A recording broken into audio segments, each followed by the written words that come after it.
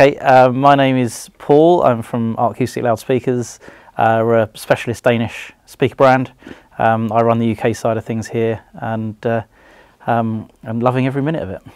So my love of sound, I think, came about. There was a there was a moment when I went to a friend's house um, as a teenager. So it was uh, I was probably 14, 15, something like that. I went to a friend's house um, after a game of tennis, and um, we went to go and put some music on on his dad's hi-fi, and his dad had a really good hi-fi system. And um, well, this will age it. It was Money for Nothing, Dire Straits, Brothers in Arms album. And I remember sitting there thinking, I have never heard anything like this. And I wanted to hear more of it. I just thought it sounded incredible. My dad always had a good hi-fi system, but not as good as that. And that was that was stunning.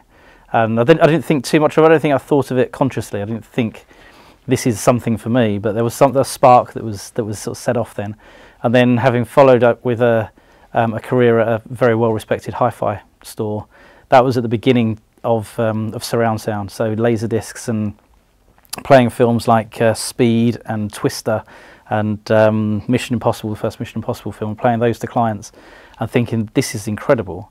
It sounded amazing just in Pro Logic, and it was then finding films that I genuinely loved, you know, not not Twister, but finding films like Blade Runner and Apocalypse Now, and realizing that they were stunning, and sort of going back retrospectively and realizing how much was in these films that I thought I already loved, and then ended up loving even more and seeing more depth into all these films. So that was kind of the spark that I haven't looked back since really. Audio is is one of the tools the directors and filmmakers use. So they they can they can use sound to manipulate us in the nicest nicest ways to to sort of put on emotions of the part of the story that they're telling. So there's so much that goes on, I think, in a subconscious level with the audio of a of a, of a, of a movie, which is not necessarily as obvious or as um, as clear as the picture is used. The picture tells us what's happening, but I think the sound tells us where, and I think the, the sound tells us in what context and how. And it's done on a much more subconscious level, so it's it's not showy, or often isn't showy.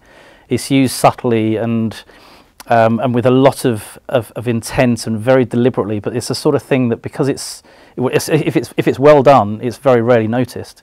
It's a, it's a much more subtle medium and and I, I, love it for that. I think the the subtlety that can be used to transport you to a place um, and and make you feel a certain way. There's there's things like um, um, there's a film called Room, which which I'm a big fan of, which uses sound in a fantastic way. Where there's um, so the first 45 minutes or so is very oppressive sound, and you feel quite trapped as the client as the custom uh, as the uh, as the protagonists do. So it's um, it, it's making you feel a lot of empathy with them. You feel what they're feeling, and as they get into a different environment, the sound changes, and again, you, you feel that with them. It's it's subtle changes, and there's so many films use it in certain ways. A Quiet Place does it brilliantly, where the sound is probably more important than the picture.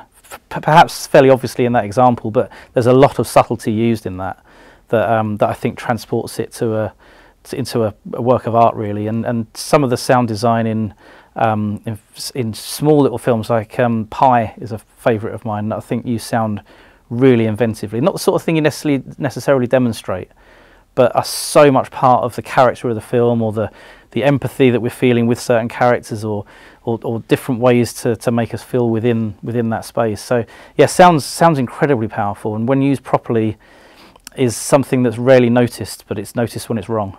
Uh, we always approach a cinema room uh, holistically, so picture and sound.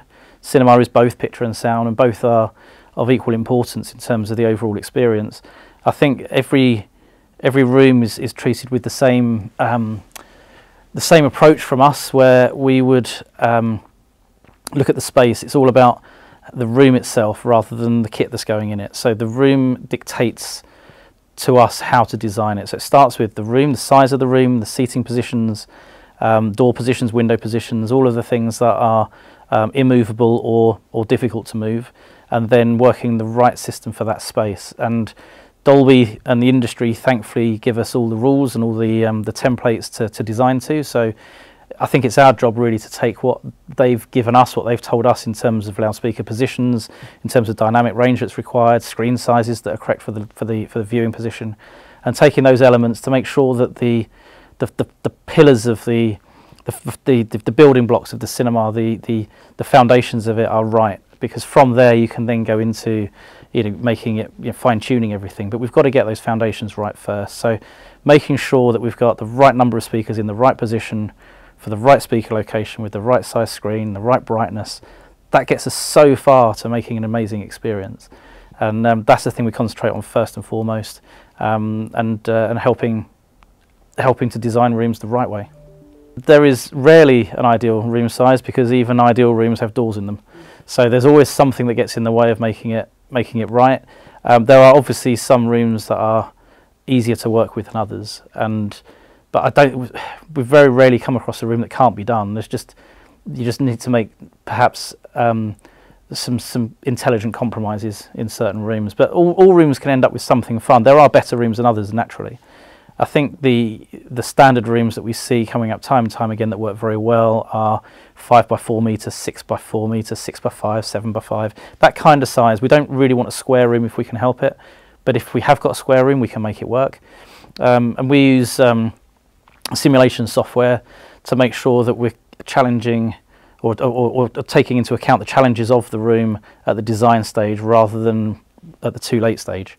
So making sure that at, at the at before anything's gone any further than just the design and and, uh, and, and emails, it's making sure that the room is working as best it can by having maybe moving the seating position or maybe moving the speaker positions, probably subwoofer positions. That's the main thing.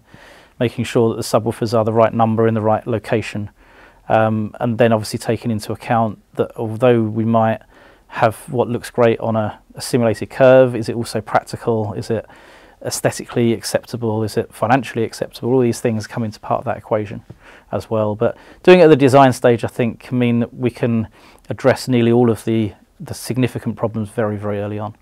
Yeah, the beauty of cinema design is that because there are fixed standards, the the size of the screen is based on an angle, so that angle is always consistent whether we're close to it or further back. We just have a smaller or a larger screen. So the actual um, end experience is a very similar one. It's a predictable experience. We know that that we're going to end up with something that is um, is almost the same in any room because we're basing it on the same criteria. And it's the same thing with the dynamic range and the speaker locations.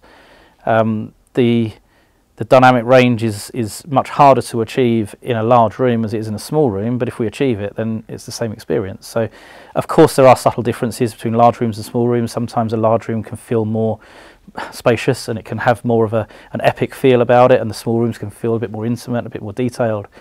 But ultimately, they're not better or worse for it. They end up with a very predictable experience. And I think, I think that's important that when we're designing rooms, we don't have we're not guessing at it. We, we know that we've got some standards to work to so that we've got some, some confidence in the predictable nature of these rooms, which means that we can guarantee a performance every time, making sure that you know, every system we, that we, we design and calibrate is uh, as good as it can possibly be. Uh, too many. There's too, too, too many to choose um, and too many that I love. I think there's dynamic range is, is uh, something that is used very, very cleverly by some very good filmmakers and uh, some examples of ones that are fantastic. There's a the opening of 10 Cloverfield Lane has some fantastic sound design in it and is a favourite of ours. It is incredibly challenging to uh, to to produce with the the dynamics that it that it needs, but it's a lot of fun when you do. So it starts off with a a musical score and clearly something not quite going right in her life as she she goes on a road trip and the musical score is is all we hear. We don't really hear the real world at all until the scene changes and we see her feeling a little bit uneasy with the situation and then the real world comes into that and we start to feel a little bit of apprehension with her. And then the dynamics happen so no spoilers which is just intense and incredible. Um, but from that moment then we get transported to another location and the sound tells us where we are not the picture. The picture shows her in a room. The sound tells us that she's underground. And for all we know she could be in a studio in Shepperton but it feels like she's underground and something threatening is happening. And it's not it's not terrifying but it's got that kind of that gripping nature where the sound is doing all the work for us here to say pay attention something's happening. And that that's a fantastic one. Um, ad astra's got it right at the beginning. I think the opening of first man's incredible as well. There's loads a greatest showman's got it. There's the dynamic range in a lot of uh, a lot of these um, these soundtracks. Bohemian rhapsody is fantastic. Um, so yeah, there's plenty, plenty, and I think once you hear it and you realise why that dynamic range is so important, we talk about high dynamic range in audio all the time. high dynamic range in video all the time. Um, it's something that HDR has become accepted and has been um, has been acknowledged as being important for picture quality.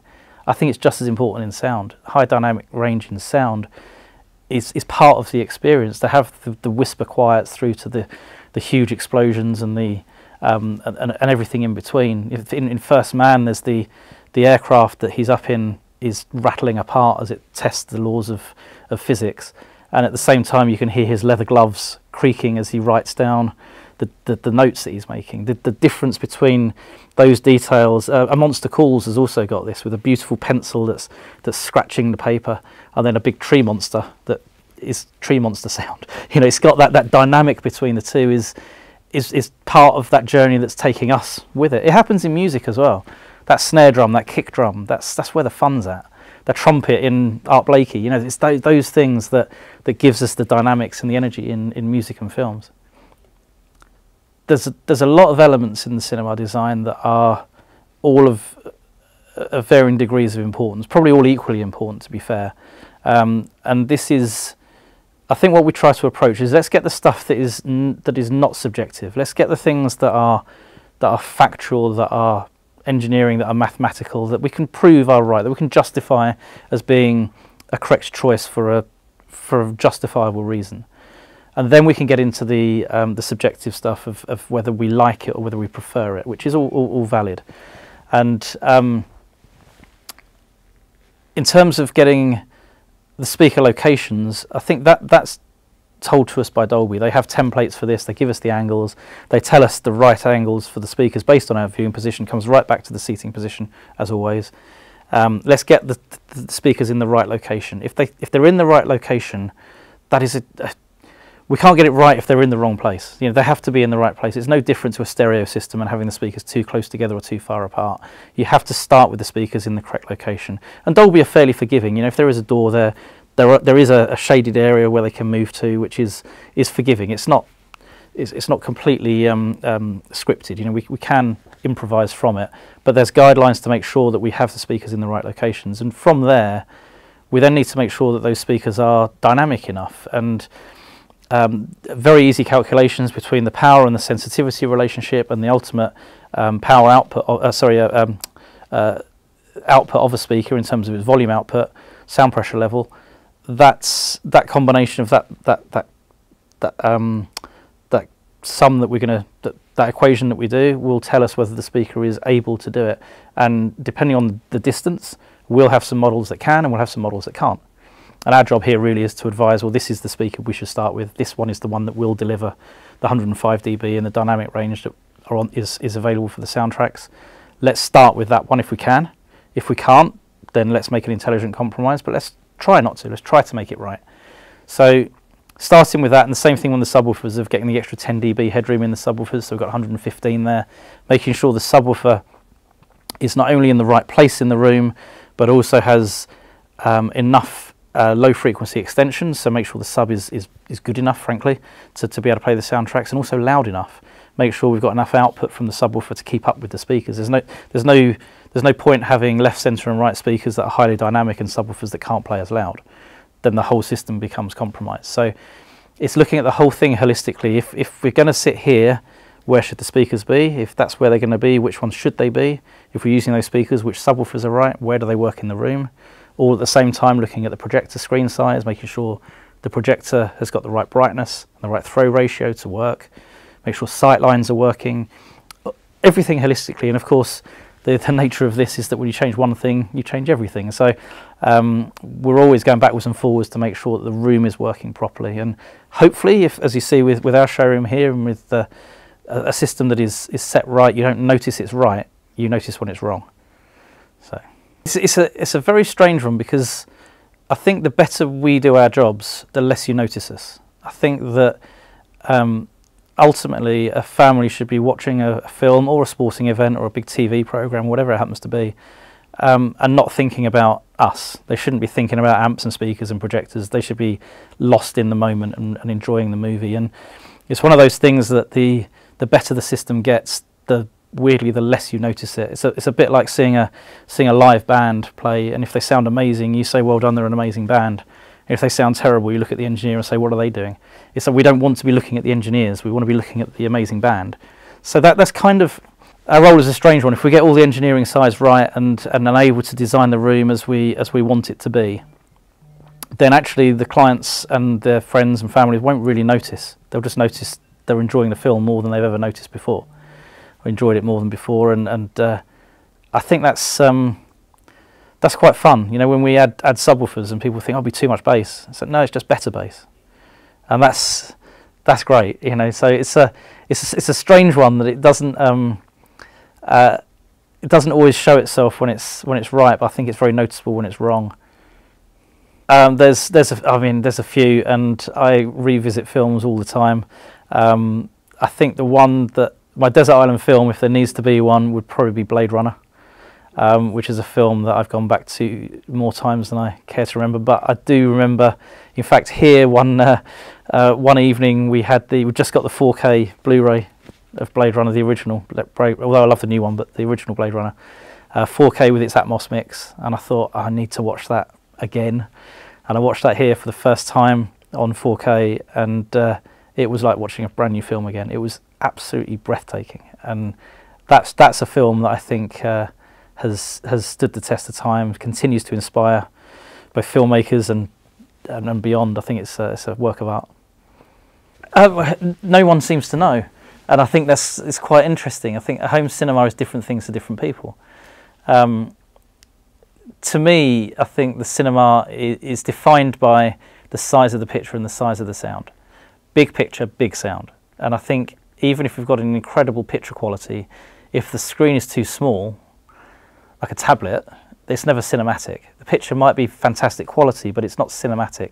I think it's the same with the sound. We can have a, a huge picture, but if the sound doesn't match it, then it's it feels like big telly, and that's that's fine. In some rooms, it suits perfectly well, but it's not cinematic. And I think to, to make something feel cinematic, the picture and the sound absolutely need to go together. They need to feel as one, so you don't question one over the other. The size of the image and the um, the experience of, of what you're seeing on screen should also be matched or contrasted by the sound that you're hearing, so that they they go together um, as part of the storytelling. And sometimes those two things can be juxtaposed and can tell different stories, and sometimes they can marry perfectly. That's that's up to the filmmakers.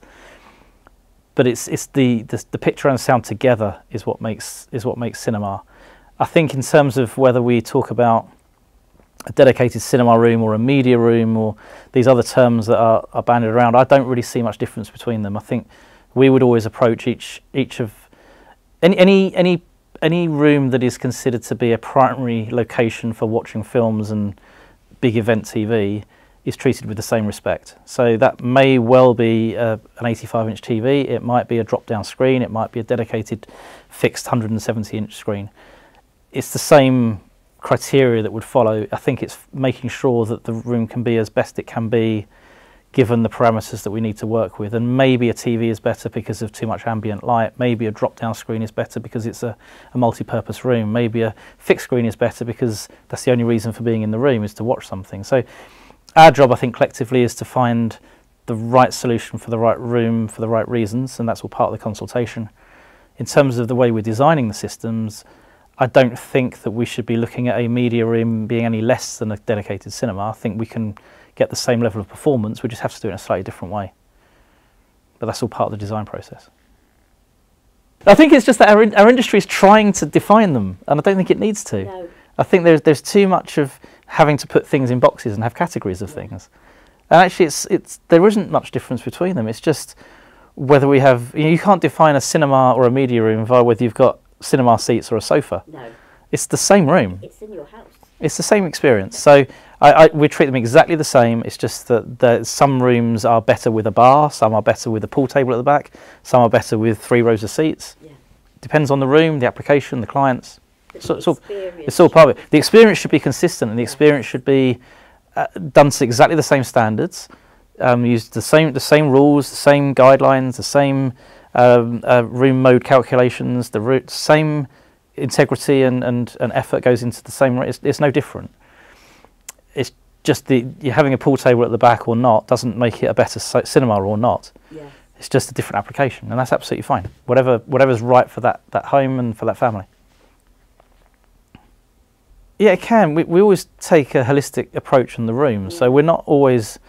Although our day job is the speakers and, and the sound part of it, and of course that's where most of the passion and knowledge is, we are also fully aware of that it's, it's a holistic experience and the room is what the, the, end, the end experience is what's important. Mm. The picture is just as important part of that, although we have less expertise in it. Mm.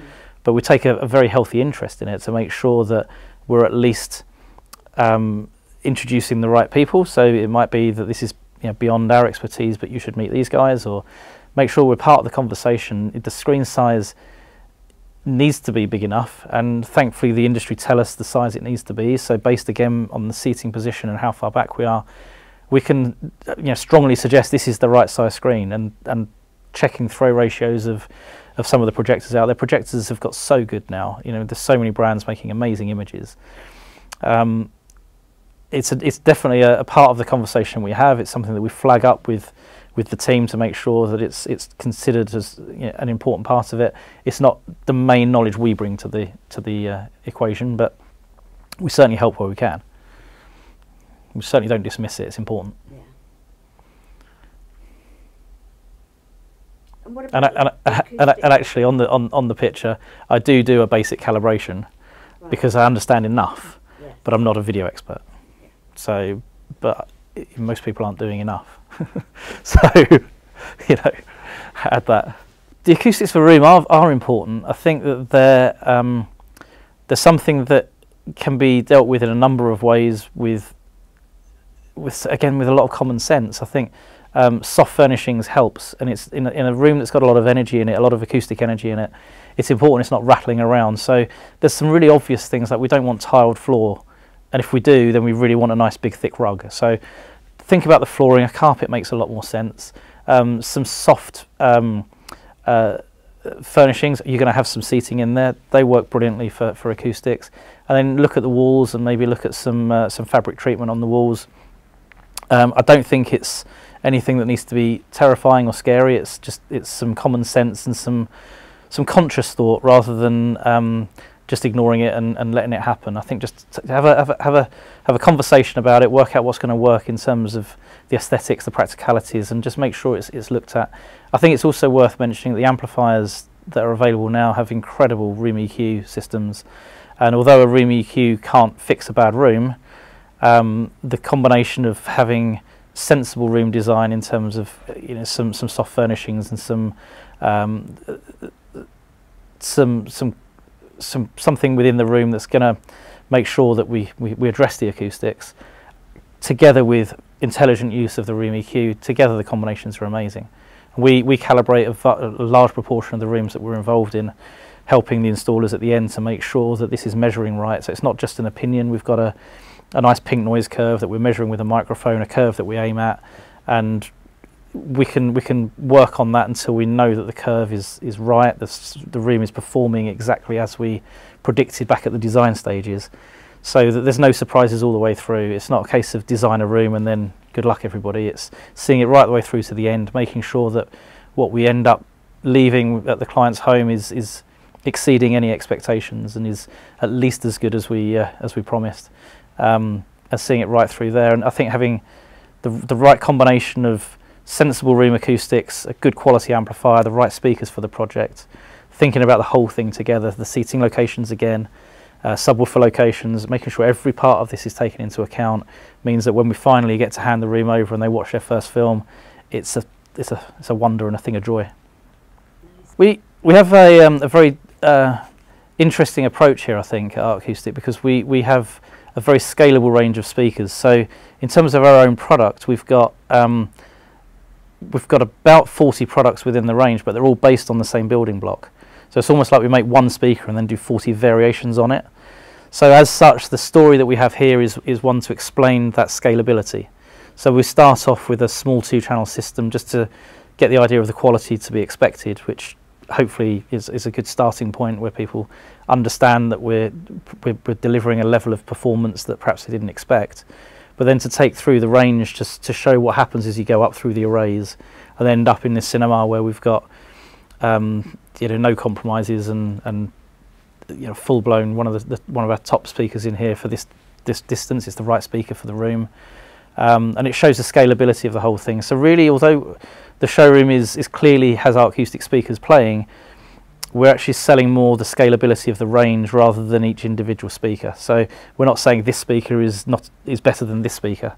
We're saying this is the right speaker for this room and this is why, and trying to explain that story because once you once you understand that, then you can see how scalable it is in terms of your own room and and, and position it so that it's um, when we when we explain the choice of a, a certain speaker model that we think is right for a certain room, we can explain why, and hopefully the story here is filled in those gaps. So yeah, I understand that. That makes sense.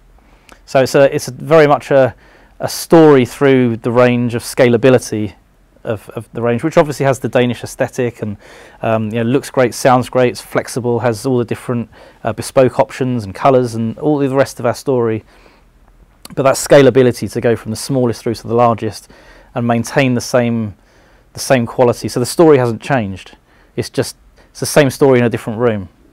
And uh, but yeah, if that if that story was is right and compelling for this room, then we can trans transfer it to another room, and it's still the right thing. So it makes it a lot more predictable. There's less surprises. It's uh, it means that every room that we go to to help calibrate, I know how it's going to sound because it should sound like this. The showroom we worked on with IndigoZest has worked on exactly the same principles that we did the one here. So um, by designing the space based on the room itself first, and then looking at the correct parameters in terms of the seating position, the wish to have a bar at the back, which I think aesthetically is fantastic. That gave us a definition of the, the, the, seating position. From there, we could then work out the speaker locations. We then, from that, could work out exactly which of our models were the right ones for that room. Also helping with the screen size and making sure the projector was right, and again, the same holistic approach. But it, it means that we've got a room at, at, at the IndigoZest showroom, which is is built on exactly the same building blocks and the same designs that we've built our own showroom here and we build every showroom on. Again, it's predictable. So if, uh, if we go along to your showroom and experience it and have a, a, a fantastic um, experience of, of, of, of, audio and, and, and sound uh, and, and, picture and it's you know, a fantastically cinematic experience, if we design another room to the same criteria, we'll end up with a very, very similar experience. And I think that, that scalability, that that, that um, predictability and that um, uh, that approach to to designing the right right system for the room is something that I think is, is is fairly unusual, but it's the right way of doing it.